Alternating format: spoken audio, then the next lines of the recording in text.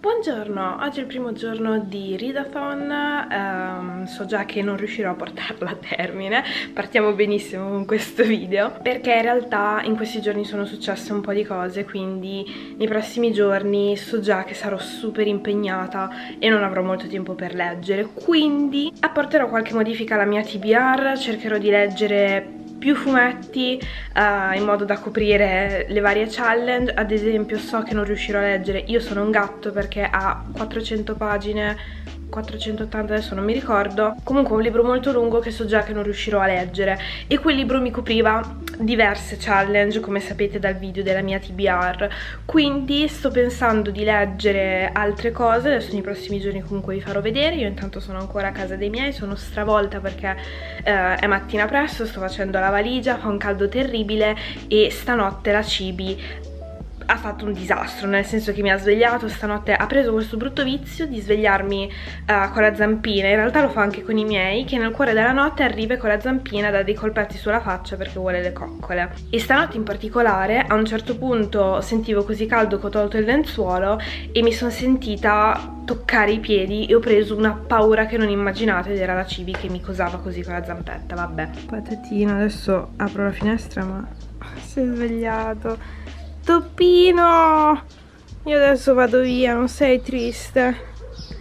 Mm, sei triste che vado via? Non frega niente. Gli bastano le coccole. È super terapeutico fare le coccole con Cassersi Perché è super morbido e soprattutto a lui piacciono le coccole sul pancino. Quindi è proprio rilassante. La prima lettura che ho intenzione di fare per inaugurare la Reading Rush è il volume 3 di Beastars. Questo sarà il fumetto che coprirà la challenge del protagonista non umano.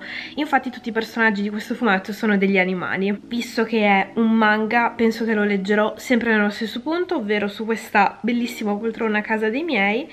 E, e niente ho terminato la lettura di questo fumetto che mi è piaciuto un po' meno dei precedenti due, però una cosa che mi è piaciuta tanto è che per una volta usciamo dall'ambientazione tipica di questa storia, ovvero la scuola. C'è infatti un ambiente totalmente diverso che permette di avere uno sguardo un po' più ampio su una delle tematiche principali del fumetto, ovvero la diversità. In questa storia comunque si parla di erbivori, carnivori che in una ipotetica società convivono ma ci sono comunque delle difficoltà. Molto interessante perché comunque eh, è come se affrontasse di fatto delle tematiche del giorno d'oggi, dalla discriminazione al punto al sentirsi inadeguati, non se stessi, a cercare di capire qual è la propria strada. Per questo è un fumetto che mi sta piacendo veramente tantissimo e come al solito non vedo l'ora di leggere il seguito. Eccola la piccola strega. La piccola gattina di Satana. Mm? Che mi hai tenuto sveglia tutta stanotte perché volevi le coccole. E poi quando durante il giorno voglio fartele mi ringhi contro. Ma sei messa bene? Non ne frega niente, anche adesso mangia quelle due crocchette che ha lasciato dalla mattina.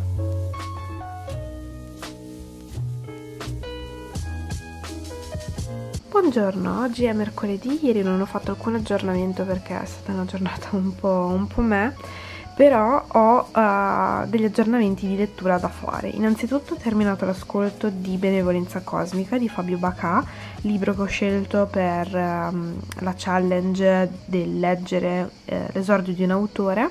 Questo è infatti il primo libro di Fabio Bacà edito da Adelphi, è uscito recentemente come audiolibro su Storytel, quindi me lo sono ascoltata. Uh, non è affatto il libro per me, mm, forse lo sapevo già, se l'avessi dovuto leggere lo avrei abbandonato, l'ascolto mi ha facilitato un po' più le cose perché ha uno stile abbastanza ostico e la storia è veramente un po' folle, verso la fine mi è piaciuto decisamente di più, però per il resto non è il libro per me. Sto continuando poi invece Tre stanze per un delitto di Sofia Anna, eh, sono abbastanza all'inizio, sono tipo a pagina 78 su 300, quindi oggi voglio andare assolutamente avanti con questo che ho scelto invece come libro che avrei voluto leggere l'anno scorso e libro con un titolo di almeno 5 parole.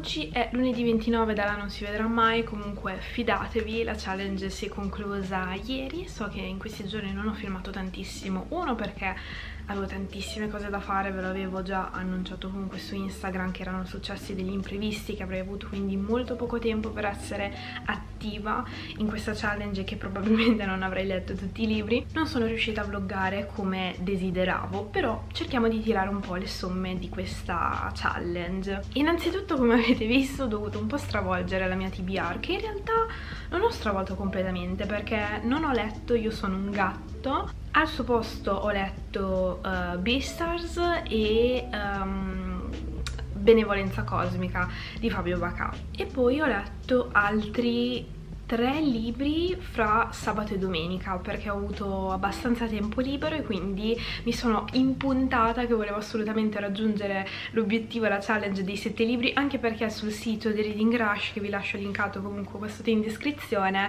uh, si poteva oltre a inserire le varie statistiche quindi quante pagine si erano lette giorno dopo giorno, i libri eccetera era possibile anche selezionare le challenge che si erano completate per ogni challenge c'era un bollino, una specie di spilletta di beige e sono entrata assolutamente in fissa, ne volevo il più possibile e quindi da prima mi sono impuntata con l'obiettivo di raggiungere le mille pagine e ce l'ho fatta perché ho superato le 1200 poi appunto volevo arrivare ai sette libri da leggere e ce l'ho fatta anche in quel caso quindi sono troppo contenta. Chiacchiere inutili a parte tiriamo un po' le somme. Andrò molto velocemente sui libri che vi ho già mostrato di cui ho già parlato come ad esempio esempio Beastars di Paru Itagaki, eh, il libro da leggere con protagonista non umano, in questo caso appunto sono degli animali, eh, l'esordio letterario che ho eh, letto, meglio ascoltato, è stato Benevolenza Cosmica di Fabio Bacà, il libro che volevo leggere l'anno scorso più il libro con un titolo lungo almeno 5 parole, Tre stanze per un delitto di Sofì Hanna. Rimango ancora abbastanza perplessa Uh, da questo libro magari vi linko nelle scritte qua sotto in descrizione la recensione perché lì spiego veramente tutto. La mia perplessità è legata al fatto che sembra un libro della Christie quindi il mio dubbio è ma questa autrice voleva emulare la Christie? Dove sta il suo tocco in questa storia perché secondo me non c'è um, non c'è il tocco di Sophie Hanna in questa storia. Poi magari sono io che non l'ho notato. Tra l'altro anche il personaggio stesso di Poirot è come quando vi cambiano il doppiatore del vostro personaggio preferito in una serie tv o comunque di un personaggio qualsiasi. Avete presente quella sensazione quando sentite la voce diversa, il doppiatore diverso? E vi sembra che non sia più lo stesso personaggio. Io ho avuto, la stessa impressione con il Poirot di questa storia. Quindi questo fatto, sommato al fatto che non riesco a capire l'intento dell'autrice perché non trovo particolarmente uh, la sua impronta in questa storia, ma mi sembra quasi che volesse emulare una storia della Christie, mi lascia un tantino perplessa, però togliendo questo il caso è molto molto interessante, una storia comunque molto carina e se vi piace il personaggio di Poirot penso che lo apprezzerete perché eh, è molto presente in questa storia. Parlando del vero Poirot, ho letto poi Alla deriva di Agatha Christie, il libro con la copertina viola e di cui ho visto anche l'adattamento tv che devo essere sincera ricordavo a memoria. Sono rimasta un tantino scioccata perché il finale del libro e del film non è lo stesso. Il libro finisce in un modo, il film in un altro. E se devo essere sincera ho preferito molto di più il film. A parte il fatto che Poirot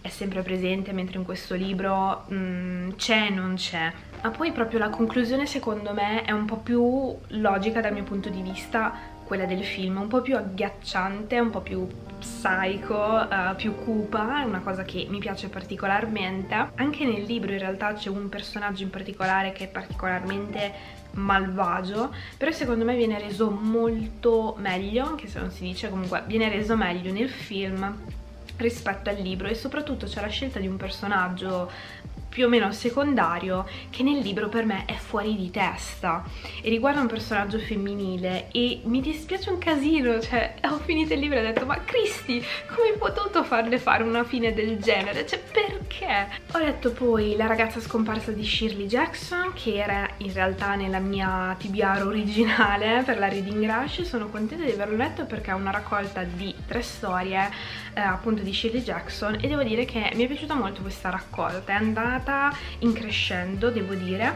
E il mio compagno mi ha detto che eh, è un ottimo inizio per approcciarsi a questa autrice perché questi tre racconti hanno comunque dei tratti distintivi dello stile dell'autrice quindi dal momento che mi sono piaciuti molto penso che poi leggerò un, un'altra sua storia. Sono dei racconti brevi quindi non sto a raccontarvi proprio nel dettaglio quello che succede. Comunque non sono particolarmente thriller o oscuri però c'erano comunque da una parte una critica alla società dall'altra c'è un racconto che provoca tantissima ansia e angoscia se non sbaglio è proprio intitolato Incubo Comunque devo dire che è, che è, stata una lettura veramente piacevolissima, l'ho divorata. Gli ultimi due libri che ho letto per arrivare ai set sono I Watson di Jane Austen, che si tratta di una storia incompiuta, quindi è soltanto una parte di una storia che non sapremo mai come andrà a finire, anche se c'è un piccolo accenno eh, nelle note di questa storia del probabile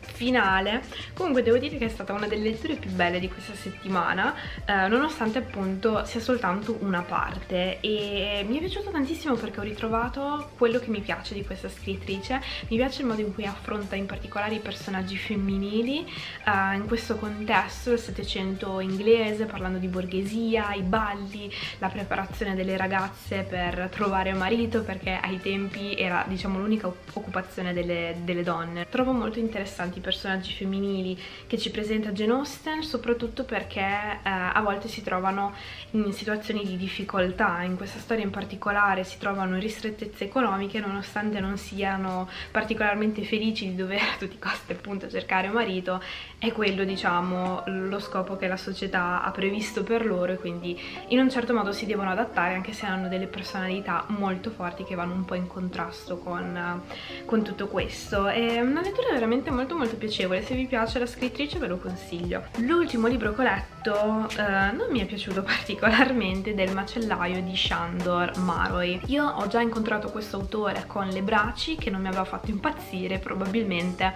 non è l'autore per me, è uno scrittore ungherese quindi mi incuriosiva particolarmente per questo. Il macellaio è uno dei suoi primissimi racconti e gira tutto attorno ad un personaggio Otto che è particolarmente oscuro. Questa storia non mi ha lasciato granché e infatti sono abbastanza delusa però da una parte ho trovato interessante il voler affrontare questo personaggio molto controverso. Sto cercando di non entrare troppo nei dettagli perché sono 98 pagine, quindi svelare troppo dettagli mi sembra controproducente. Comunque se vi piace l'autore, se ad esempio vi è piaciuto Le Braci o un altro suo racconto, in Italia sono stati pubblicati tanti suoi romanzi, probabilmente apprezzerete anche questa storia che ha appunto un risvolto un po' più oscuro e per quanto mi riguarda mi è piaciuta l'intenzione di raccontare un personaggio appunto un po' più diverso nel contesto comunque della guerra, ma l'ho trovato un po' troppo superficiale nel senso che mi aspettavo andasse un po' più in profondità, che spiegasse un po' meglio le ragioni che hanno spinto questo personaggio a comportarsi nel modo in cui si è comportato. Di sicuro il contesto uh, ha influito tanto ed è una cosa interessante vedere come...